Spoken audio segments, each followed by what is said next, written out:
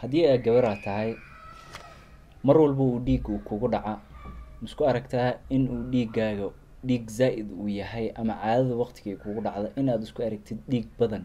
Isku aragtay calaamadahani muuqaalka dhameyso waad arki doontaa wixii kuu keenaya ama waad fahmi doontaa wixii kuu keenaya assalaamu calaykum waraxmatullahi wabarakaatu asxaabi meel walbaa joogtiin ku soo dhawaada channelka aad daawanaysiin waa channelkii doctor sadaam xuseen maanta waxaan idin wadaa maxaa u keeni kara gabadha in ay caadadeeda ama dhiiggeeda uu zaa-id uu noqdo waqtiga ay caadada ay ku dhacdo.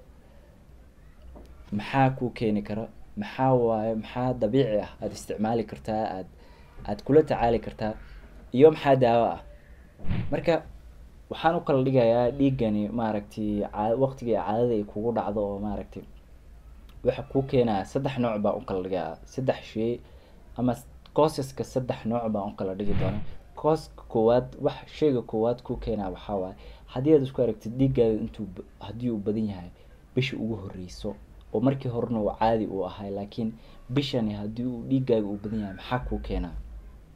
Haddii uu dhiiggaaga uu maalin walba oo caadada ay kugu dhacdo zaa-id uu yahay maxaa kuu keenaa? Mid saddexaad waxaa waaye haddii uu dhiiggaaga bil walba kugu soo lalaabanayo oo maaragtay bil walba oo maaragtay aada isku arkaysid inuu dhiiggaaga zaa-id uu yahay. Ilaa dhakhtar aad tagtid la istaajiyo ma oge. Mid saddexaadna taas waay maxaa keenaya ayadan ku soo dhawaada meel walbaa joogtiin ha iloowina channelka inaad subscribe like a shareka aada saartiin. Meel walbaa joogtiin. Waadna ku mahadsantihiin sida aada noogu maaragtay subscribe-ka aada noogu saarhaysiin waxaan idinka filayaa intaas in ka badan.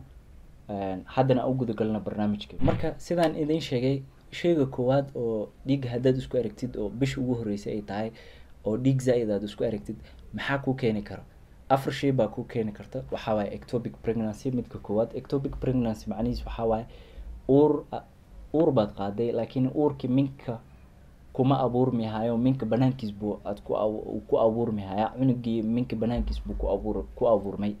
Markaa kadib maxaa dhacaya marka in aad dhiig badan aada isku aragtid maadaama oo meesha looga talagalay cunugii uu ku abuurmi hayo shayga labaad waxaa waaye haddii uu diliin uu kugu dhacay wax loo yaqaano miscarrageka ama abortionka hadduu kugu dhacay ayadana wuu ku imaanayaa aadna uurna aada laheyd.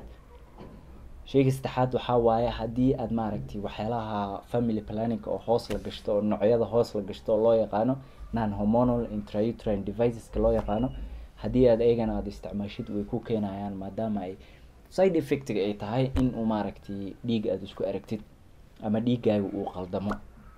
Midda afraad waxaa waaye daawooyinka daawooyinkani waxaa noocyaal badan waaye daawooyinka sida blood loo yaqaano. Blood waxaa waaye daawooyinka oo dadka maaragtay dhiigooda aan istaageynin dadka isticmaala daawooyinkaasi ama sida wafarinka iyo heparinka dadka isticmaala ayagana hadduu dhiig uu ku dhaco dhiig zaa-id bay isku arkaa iska labaad oo ku keeni kara dhibkan sidaan horaan aan u soo sheegnay waxaa waaye haddii aad isku aragtay dhiiggaaga inuu zaa-id uu yahay maalinta koowaad uu dhiig kugu dhacayo maxaa kuu keeni kara kuwani waxaa ka mid ah waxyaalaha keeni kara oo hoos imaanaya dhankani waxaa waaye kow in uu maaragtay haddii uu daawooyinka family planning aada isticmaali jirtay aada istaajisay markii uu dhiig uu ku soo laabanayo waxaad arkeysaa inuu dhiiggaaga uu dhiig zaa-id uu kaa imaanayo sida cirbada depoga camal dadka isku duro dadka maaragtay midka three yearska iyo five yearska family planning isticmaalo. Mar walbo dhiigooda u soo laabanayo.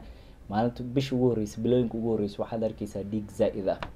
Kuwa kale waxaa waaye daawooyinka dadka isticmaalo maaragtay daawooyin medicationka ayagana way keenaan. Medicationka oo dhiigga ku daraayo zaa-idka ah way ku keenayaan ayaga saddexaad waxaa waaye cooska saddexaad ama waxa ku keeni kara oo saddexaad waxaa waaye haddii aad isku aragtid dhiiggaaga oo mar walba uu zaa-id uu yahay uuna xanuun uula jiro oo bil walbana soo lalaabanayo kani waxaa ku keenaya dhibaatooyin oo dhanka minka ka jira iyo dhibaatooyin kale oo jirkaaga ka socdo. Maxaa ka mid ah marka? Sida fibroidka sida maaragtay haddii uu cancer oo hoos uu ka jiro sida maaragtay dadka cudurrada dhiigga qaba oo kale oo van wil van wilbrons disease loo yaqaano.